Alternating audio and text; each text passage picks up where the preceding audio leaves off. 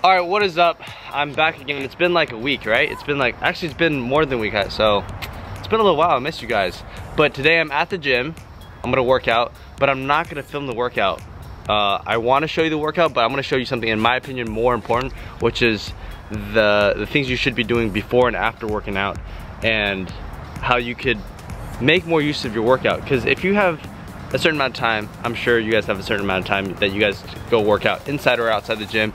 You guys want to make the most of it, right? So to make the most of it, you have to put your body in the best position and best, I guess, state so you could have the best workout. So this whole thing is about foam rolling and foam rolling goes into the recovery thing and the stretching and all these other trigger point therapies. But foam rolling is what I'm gonna talk about today because it's very, very underrated. And I'm gonna talk to you guys how foam rolling could help your overall performance and how you look and also your squat and your bench and your pull-ups and maybe your push-ups and potentially even like six-pack abs like that corny thing of people saying oh this to get six-pack abs. So which it's not it's not going to be a direct correlation but there's going to be things you could do with the foam roll that I'm going to explain in a second how you'll see it's going to help everything that you do physically okay? So I'll see you guys inside.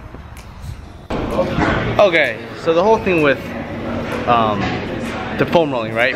Gains, it's not gonna directly like you foam rolling is not gonna make you bigger, stronger, faster right after you foam roll, right? You gotta you gotta use it as a tool to allow yourself to work out better, to get more gains, to get stronger, to get bigger, to look a certain way, whatever your goals are, right?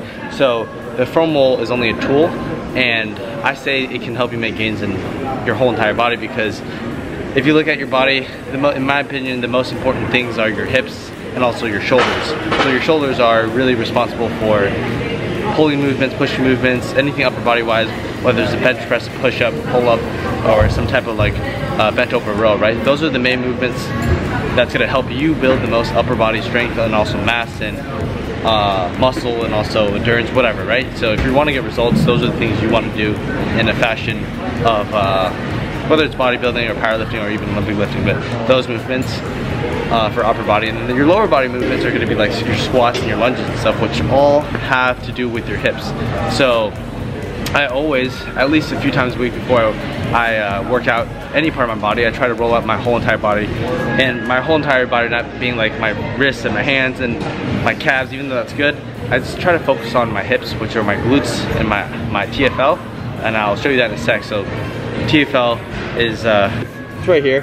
But as you can see, as I'm rolling out now, it's uh, I try to find a spot that hurts the most and stay there for about 10, 15, 30, sometimes 30 seconds. And uh, it helps me open up my hips and my glutes, which allows me to have a better squat, which allows me to squat heavier and more efficiently and more times throughout the week. So essentially I'm getting more gains because I'm getting more leg mass, leg drive, leg power, lower body, um, I guess muscle mass, right?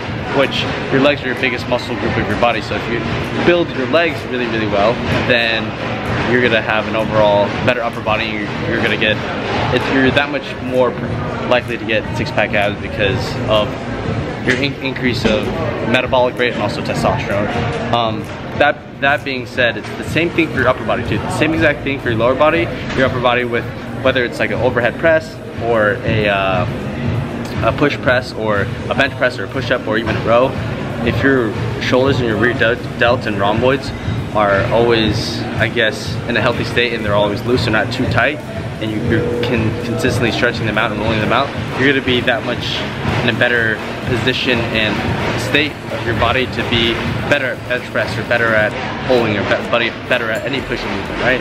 So these two things, just honestly the rear delts and where right here where this insertion point meets, um, as you can see I'm rolling it out, those two were, those two things with me rolling out my hips and my, my glutes and also my, my TFL, my IT band, and also my rear delts where my lat meets into my shoulder insertion. That's those are the two things I focus on. You can do other things, but those are the two biggest things that I think is gonna help you with gains. So foam rolling with gains, those are two spots.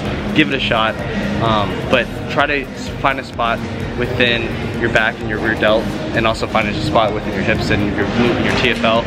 And your TFL is uh, right here, right? Your glute and your TFL goes here, your IT band's right there. Uh, find a spot, stay on it for as long as you can until it stops hurting, and then move it around and then do that.